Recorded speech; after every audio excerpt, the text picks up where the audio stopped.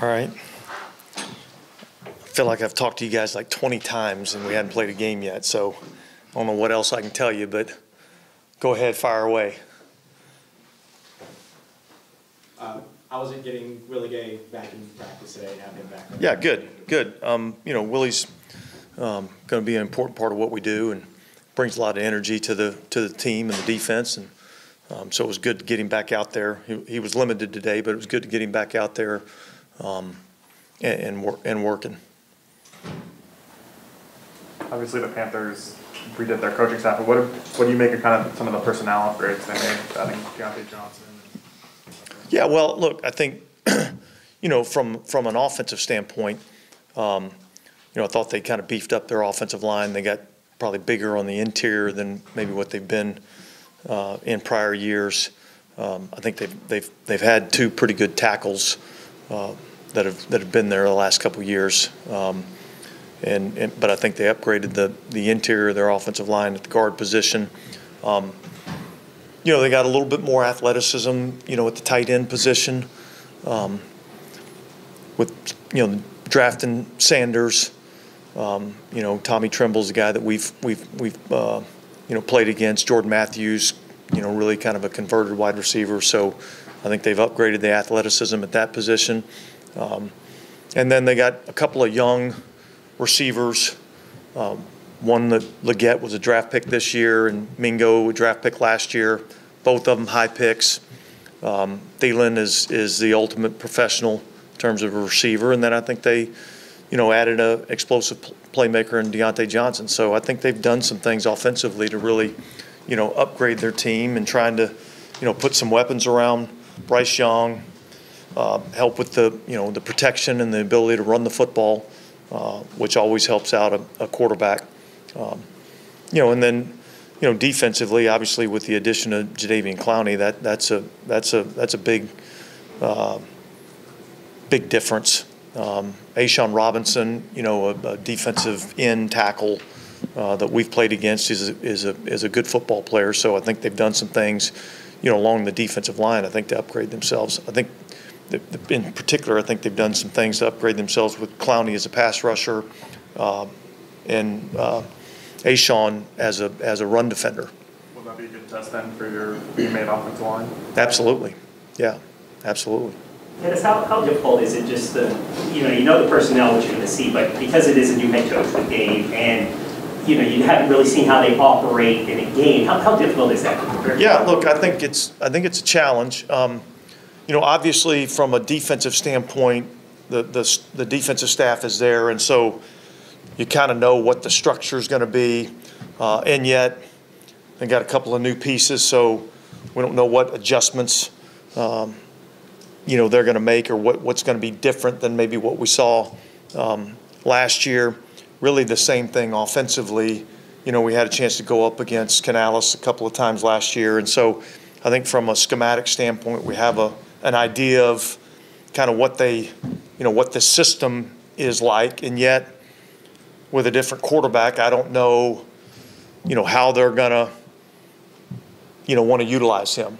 Um, I have my thoughts, uh, but, you know, again, as it is with, with everything, um, when you get into the first game of the season, you know, I, I just think it's, it's the team that's able to adjust the best um, that's going to have the most success because, um, you know, everybody's going to have something that you haven't seen yet.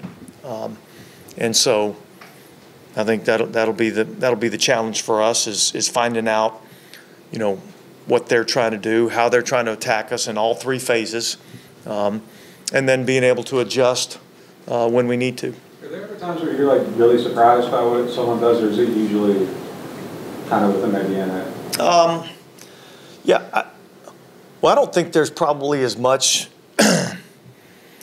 really in, in terms of like um, the, the, the, the plays, um, how they call the plays, maybe, what, what, what window dressing they put on the plays.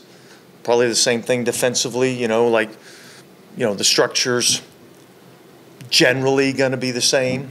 Um, and yet, I remember we had, the- we played the Raiders here back in, what was it, 15 or 16? I think 16 maybe, and, and we hadn't shown a, an odd front at all. And, and we opened up the game plan an odd front, and I know that messed with them for a little bit, but that, so every now and then you do see some things that, ah, damn, we weren't ready for that, you know? Um, and, and, and yet, you have to be able to adjust. You have rules that can take care of whatever you're seeing, um, but it might be something that you hadn't really worked a lot against, um, you know, over the course of the, the practice week. How do you know when it's time for like, when you did that, like waiting that long into the season to kind of do something different? Like, how do you know when it's time to, to kind of switch stuff up? Is it just matchup based or? Um, yeah, well, look, sometimes early in the year, you've been working on certain things throughout all of OTAs and training camp and don't show it in the preseason so that you can, um, you know, incorporate a few of those things, you know, to start out the season. And, and so sometimes you can spring a couple of things on them that, you know, maybe they are not necessarily ready for. It's probably not anything that they haven't seen before. They just hadn't worked on it with, with you, you know. Um, and so we deal with that on our end. I'm sure they're dealing with that on their end. And um, that's why, again, I say that the teams that are able to kind of adjust to what they're seeing usually are the teams that have the most success. Using the Raiders game was, know was so long ago, but why, why the odd front? Was that something you noticed on, on film or? Um, no, it was more to just present something new uh, to them and, and, and make them have to, you know, get on, get over on the sideline and start drawing some stuff up and trying to figure some things out. And then you, you kind of go back to what you do. Because your offense is so new, do you anticipate some of that happening Sunday from from them? Is that kind of the goal? In terms of, In terms of just like presenting looks that maybe Carolina's not ready for, or hasn't yeah, that would be, I mean, certainly that would be my hope, you know. Um, You're always hoping that the other team's over there with the tablets out and drawing on the grease board and doing all that stuff. And if they're doing a lot of that, that's probably good for us. And if they're not, it's probably not. Dennis, how much, how much is your defense evolved? You know, we talk about offenses all the time evolving in the league. You say what you were running seven years ago to now, I mean. I'd say it's, I'd say it's evolved significantly from, you know, when I started calling it back in 2015. Um, You know, and, and, but those, that evolution doesn't take place, you know, over the course of, you know, a year or two years. It really kind of takes place over the course of, you know, two, three, four, five years, you know, and, and things kind of change. And you can't become stagnant in anything that you do. You have to always be looking to improve. Um, and so there's always things that we're, we're looking at how maybe we can do, you know, some things better. Um, I would say philosophically, nothing's changed. Um, schematically, a few things. Yeah, look, I mean, we have a certain way that we believe in playing defense. Um, and so that philosophy is, hasn't changed. Um,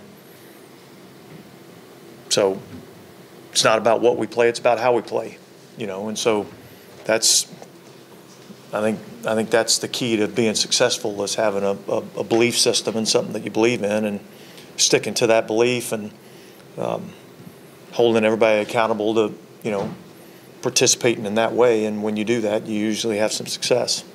After all these years and games, I mean, you still get excited for an opener? Yeah, man. I mean, this, this is why we do what we do is to play these games.